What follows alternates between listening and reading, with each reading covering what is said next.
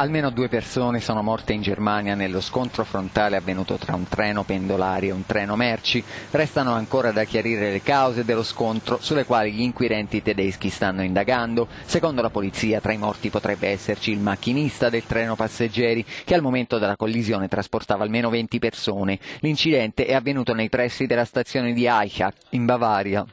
Alle 21.15 circa i due treni si sono scontrati vicino alla stazione. Un regionale proveniente da Augusta si è scontrato con un treno merci che era fermo sul secondo binario.